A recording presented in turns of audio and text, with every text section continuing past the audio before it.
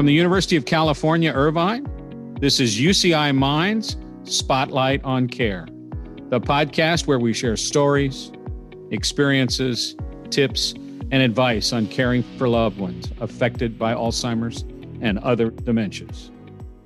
Hello, and welcome to Spotlight on Care. I'm Virginia Nave, and I'm here with my co host, Steve O'Leary. Today, our special guest is going to talk about some helpful information regarding doctor visits and medication management for your loved one with dementia. Since both Steve and I have personal experience in caregiving, we like to share something we've learned before we introduce our guest. So, Steve, do you have any helpful tips regarding doctor visits and medication management that you learned when you took care of your wife, Patty?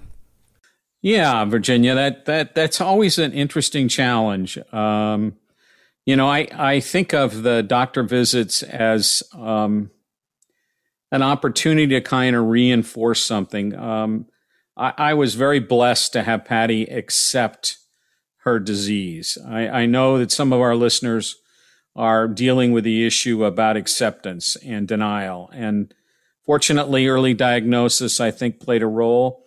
But I think also the doctor visits that we continue to have on a regular basis with a neurologist and also the the, the clinical trials we were participating in, um, I think reinforce the whole role of doctor visits. So for me, uh, it was, hey, we have another doctor visit coming up, and and Patty would go, uh, okay, where? And fortunately, we'd moved down to UCI Mind from UCLA, and that made life a lot easier.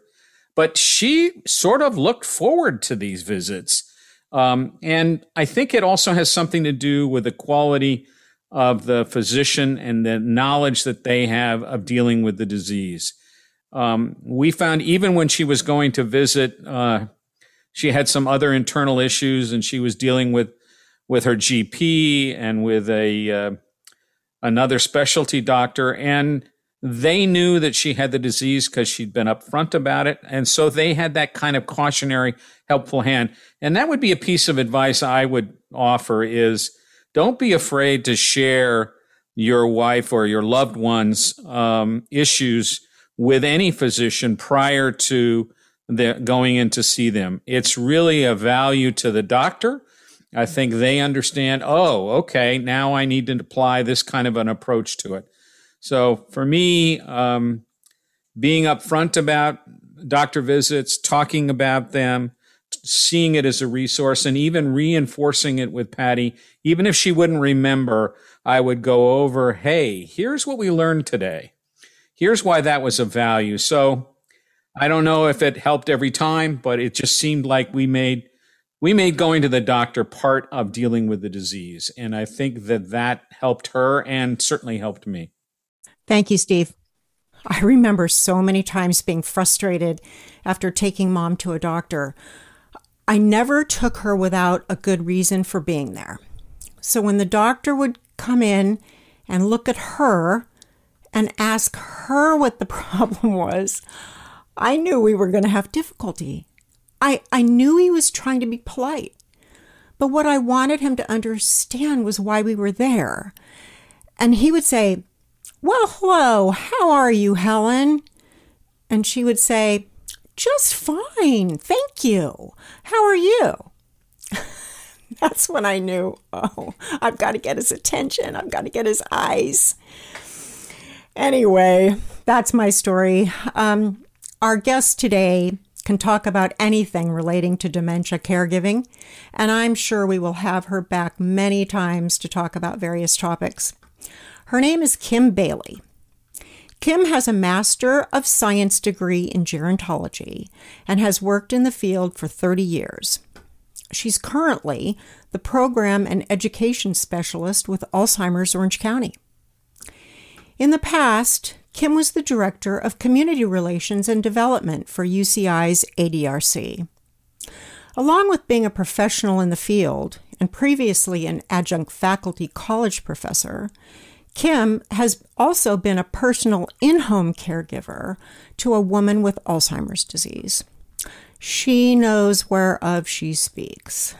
Welcome, Kim. It's great to have you here. Thank you, Virginia. I'm so pleased to be here on the show with you and Steve and uh, to have a chance to chat with all of the viewers. Well, I know that you're going to be uh, giving us really, really good information. Let's start with preparation for the doctor appointment. Let's say your loved one with Alzheimer's or other dementia has a medical issue and needs to be seen by a physician. It's fairly straightforward if the person you're caring for doesn't have dementia, but it can be quite the ordeal if they do.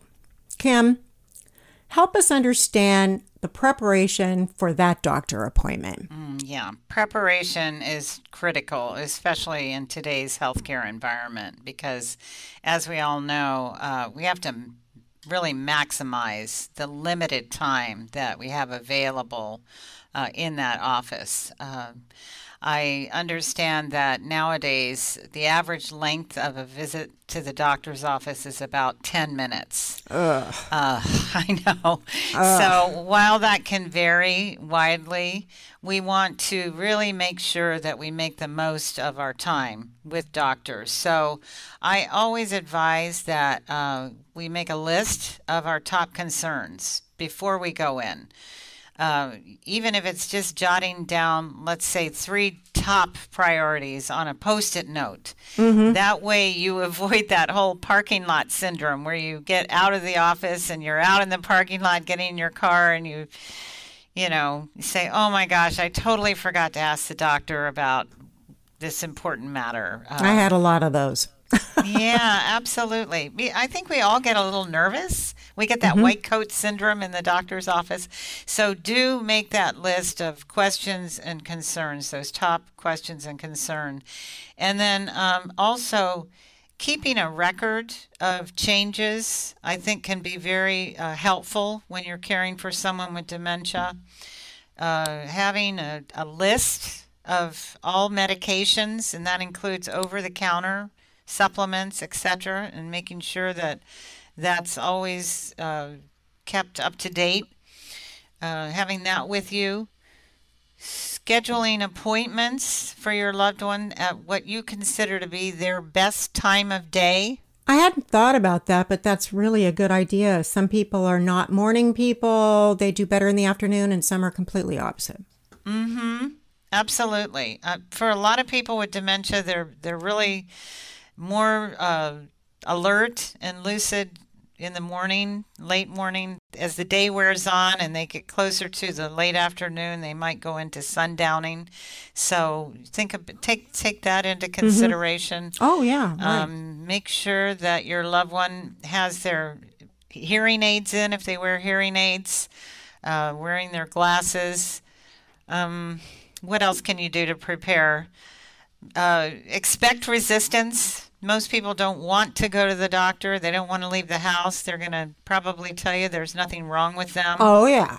Oh, yeah. I had a lot of, why are we going to the doctor? yep. And keep your response to that limited, brief, and low key. Just something like uh, it's just a checkup. And afterwards, we can go to lunch at your favorite restaurant. Yeah. Those are just a few tips.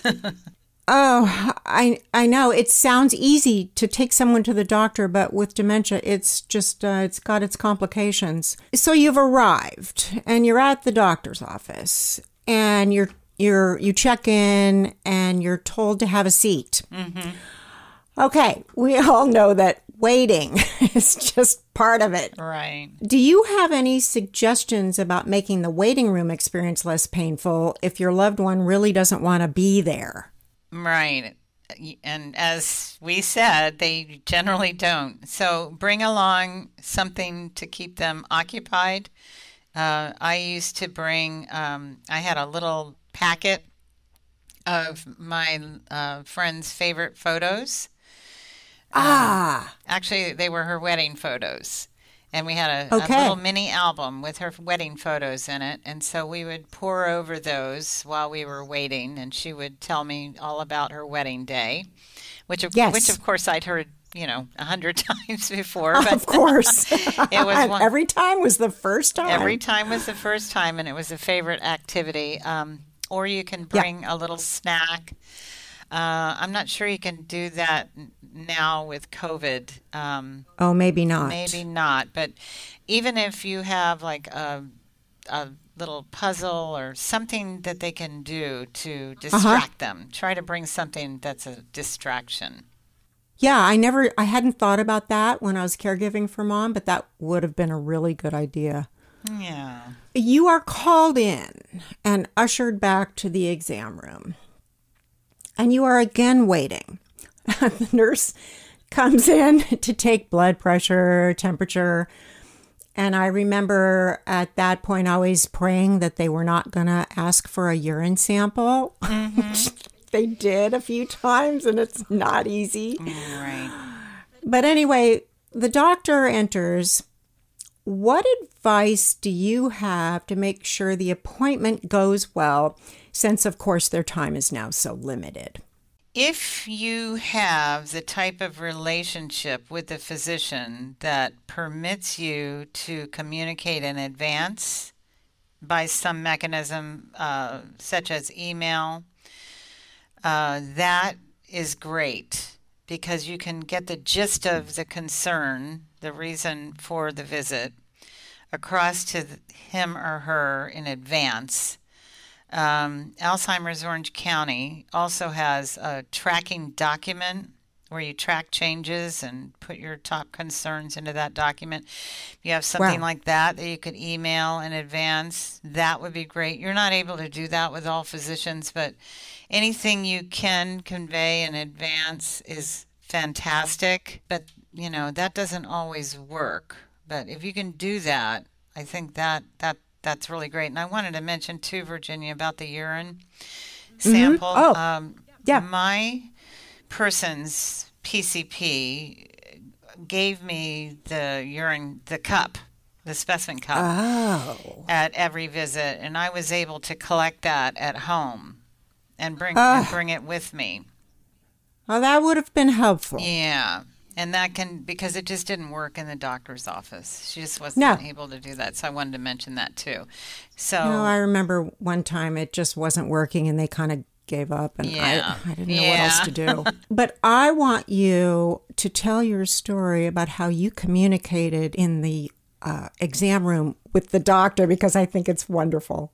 Okay, so you know the doctor either they tend to do one of two things. They either start talking to the patient directly, eh, which is what you were talking about earlier, or they sometimes just talk to the caregiver, which is awful also. Because i mean when they talk to the patient the patient isn't able to respond appropriately. So that's bad. Right. And when they talk to you then the patient gets mad. So you're sort of in a really bad situation no matter how you look at it. But yeah. in our case the doctor would talk directly to um, my to the patient and she would give false answers. But what i did was i tended to stand either stand behind her or be seated behind her with my arm across her shoulder. Okay. And so when he would ask a question like, Have you had any falls lately? she would answer no. And I would hold up like two fingers behind her. Perfect. Know, and and he saw you because and, you were right behind her. Right. I was either as I said standing behind her or I had my arm across her shoulders and I could off to the side cuz she really had no nose no peripheral right. vision okay. at that point. Okay. So I would do whatever I could to mimic or pantomime answers uh, without her seeing. And the reason that's so important is when you correct them outright. And I have had to do that sometimes, like in the ER, because sometimes it's just unavoidable. Yeah. What you yeah. do is you just destroy their dignity and it's you know and it's just we want to be as open and honest as possible while maintaining their dignity. And we are in the doctor's office. We have to get these issues explained correctly but we have to do everything we can to preserve their dignity at the same time. So i just had i just found my that was the best way for me to try and do that She had absolutely no wherewithal. I mean, I, I had her in the ER one time and she had a gaping head wound. And the doctor was uh, asking her questions, and she said, I don't know why I'm here. Ask her. She's the reason I'm here, you know. And she was very indignant. And, you know, I mean, it's just this is what this disease does to people. They're just Yeah. so unaware. So it's Oh, really very sad. Completely. Yeah. And it's it's And, tough and that was from a fall, by the way, just in case the, the listeners Mm. are thinking, how did she get a gaping head wound? it was unfortunately from a fall. Of course it was. She forgot about the fall within minutes. You know, she had no Yes. idea why she was in the ambulance or in the hospital, but um, Exactly. and blamed Exactly. me. And s- sometimes I wonder, you know, if the doctors really get a lot of these situations. They don't, and the ne- neither do the hospital personnel. You know, and they 100% agree. Yeah. So, but we do what we can with training. Yeah. Did you take a did you take a notepad with you for taking notes? Yes. Always take notes uh, or even record the sessions. That's an idea. Yeah, on your cell phone because, Mm-hmm. uh, and you just tell doctors so they don't become defensive. Um, Right. And they should invite that because, and if you don't understand what they're saying when they're speaking doctorese, Yeah. you know, it's high level and for a layperson, and you just keep asking questions until you understand. You know, Absolutely. and record it all and Okay, we're going to go on now to medication management issues. Um, I first realized that my mom could not be trusted to manage medications by herself when I went to visit her and took a look at her seven day sample pill pack of Aricept, you know, with the bubbles and you pop the pill out Monday, Tuesday, whatever it was, uh, that the doctor had given her the day before and the pill pack was empty. I, said, on Tuesday. Mom, uh, yeah, yeah. I said, Mom, um, where where are the pills? And she looked at me and she said, I took them. Yeah. And I went, oh my god! I went to I went into a panic, and I I called the doctor's office, and they found the doctor who was not in that day, but they found him, and he called me back, and and I said, am I supposed to run her to the emergency room? And he said, no, no, but she might not feel very good tonight. And I thought, okay, so uh, this isn't working. You know, this is her, she needs a thyroid pill every day. This just isn't working. So tell us how best to handle medications. So this needs to be regarded as a safety issue. And so, um, unfortunately, you know, we deal with this all the time with many of our families. And caregivers are often very reluctant to take this job away from their loved ones who have been doing Yeah. this independently for years but it must be done. I mean, we have to monitor their medications because it's all too easy to uh, miss a dose or take too many, as was the case with your mother.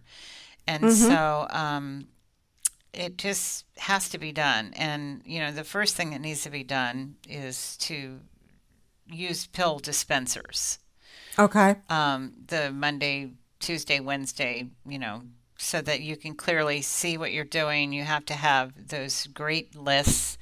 You know, by the way, make sure all of the medications that your loved one is taking are needed and that they don't conflict with one another. I mean, we've been telling people for a hundred years, you know, take all everything to the doctor if necessary in a paper bag, everything and make sure that all these drugs are necessary. Right. They're not um, conflicting with one another.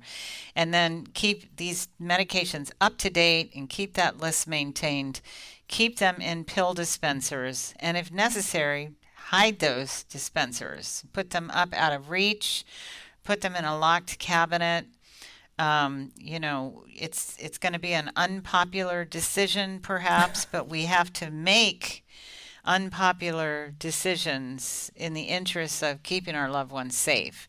And when it's true, when, yeah, and I mean when it's like the driving issue, it's like people get mad, but Right. we have to weigh on the side of safety. So it's a um, safety issue. yeah, and when we are giving pills to our loved one, um, and we know we think we're going to encounter resistance, we want to make sure we give the um, what we call the life-sustaining medications first, in case they just refuse, start to refuse. Okay. So, um, you know, like the heart medication, or Okay. the, you know, things that they are essential, like blood thinners or whatever. I'm not a doctor, by the way, so here's my disclaimer with this medication advice, you know. but um, yeah, and then um, if they don't, if they're really being resistant, sometimes we can hide the pills or crush them into food, but it's critical that we find out from the doctor or a pharmacist if the pills are are intended to be crushed because some pills some- you some- cannot. Okay.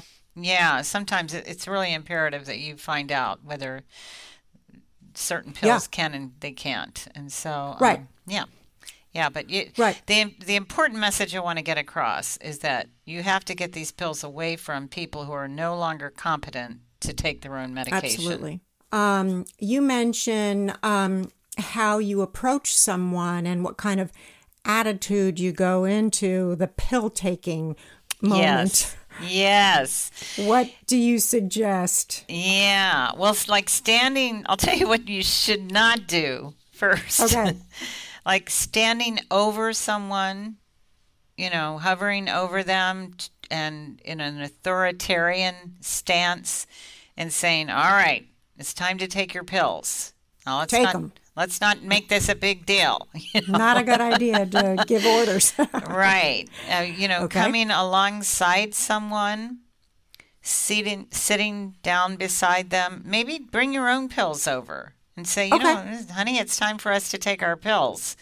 it's pill taking time. that might work, Mm-hmm. but it, your approach should be low key Okay. and um, you know your body language should be open and you know speak slowly and clearly with a gentle voice and a gentle affect about you um, if they're have have them ready have the water ready um, okay. and so in some cases, when we have resistance, a note from the doctor is very effective. Um, and, or, Okay, so you can say, "Oh, the doc, look, look here. The doctor wrote you a note Yeah. and said you need to do this." Okay. yeah, you can use that note, Virginia, when they say to you, which they often do, "I don't need any pills. There's nothing wrong with me." Oh, absolutely. My mom was very proud and of then the you can say, well, you are very healthy because you never want Right. to say they're wrong. So you Right. can agree with them and say, you know, you're right, you're very healthy. Mm-hmm. Nevertheless, doctor says that you Right. need these pills for your blood pressure. Look, I've got a note from him. So I mean, it's it's so hard being a caregiver. You know, it is the most difficult job in the world, and really, it's It's it's tough, and every day knew. can be different. but the more tools in your tool belt, I always say, the more tools in your tool belt, the better Mm-hmm. you know equipped you're going to be. And sometimes a tool like a note, you know, from the physician on a I was thinking maybe even a note from a grandchild, oh a favorite grandchild. That's a great Um, a favorite idea. grandchild. That's a great idea, Virginia. Yeah. Right, right, and just put it right in front of them and say, "Now it's time." But when you think about it, that poor caregiver, this has to happen every day. Yeah, It's that's tough. it's that's really tough. It's really tough. Mm-hmm. That's why, you know, really less is best. I mean, um, that's why Yeah. really a great geriatrician will Mm-hmm. figure out if all of these pills are really necessary. Absolutely. Yeah, absolutely. So when I was thinking about this whole topic the other day, I was reminded that it's not just a regular doctor that you go see with somebody. Okay, there's the dentist. There's the there's the eye doctor. there's the doctor regarding hearing aids. Um, my mom broke her glasses one day. I didn't have any idea who her eye doctor was, um, and she couldn't tell me. Mm-hmm. And then I found out that you can't just go get a new pair of prescription glasses because the prescriptions expire. Uh, one to two years generally in most states. So I was stuck with having to take her to the eye doctor and having them put the big machines in front of her face. It was a mess. Yeah. Do you have any advice uh, regarding that type of a visit?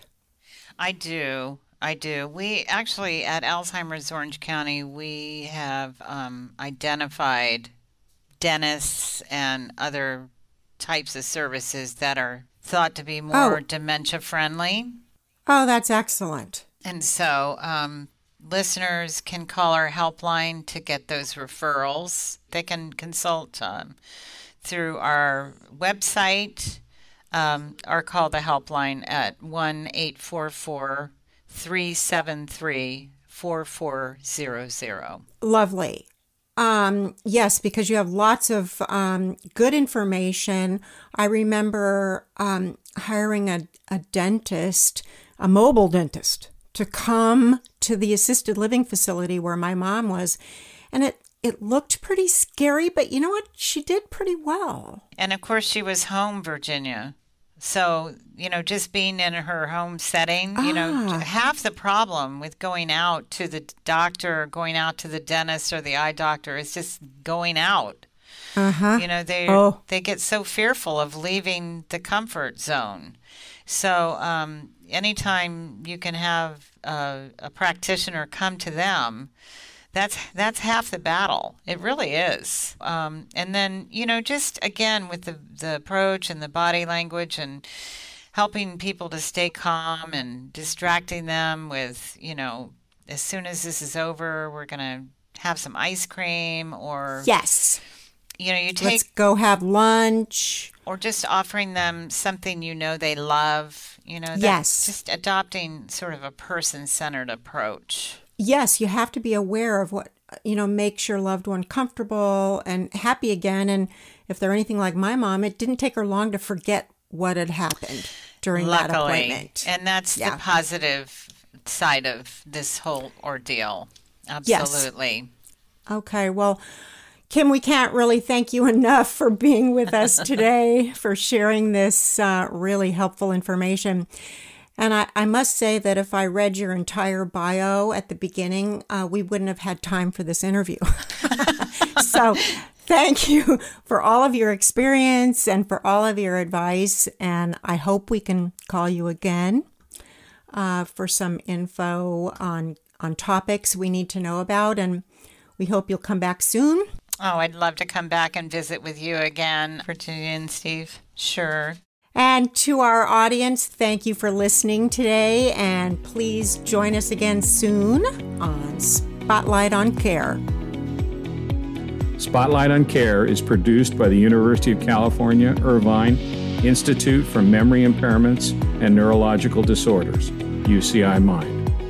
Interviews focus on personal caregiving journeys and may not represent the views of UCI Mind. Individuals concerned about cognitive disorders prevention, or treatment should seek expert diagnosis and care.